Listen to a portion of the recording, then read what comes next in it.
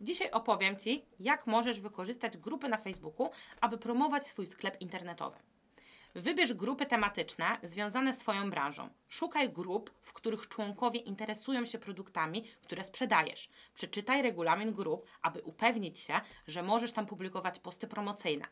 Chociaż nawet jeżeli nie ma takiej możliwości, nic straconego. Możesz przecież komentować posty w grupie, polecać swoje produkty, które będą odpowiedzią na daną potrzebę. Przygotuj treści, które przyciągną uwagę. Publikuj zdjęcia, filmy i opisy produktów. Nie przesadzaj jednak z ilością reklam. Ważne, aby treści były wartościowe dla członków grupy. Odpowiadając na pytania, podziel się swoimi pomysłami, doświadczeniem. Zbuduj pozytywny wizerunek swój i swojego sklepu. Organizuj konkursy i wydarzenia. To świetny sposób na zaangażowanie członków grupy.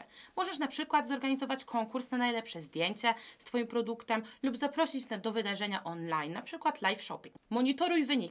Sprawdzaj, które treści i akcje przynoszą najlepsze rezultaty. Dzięki temu będziesz mógł dostosować swoją strategię i osiągnąć jeszcze lepsze wyniki.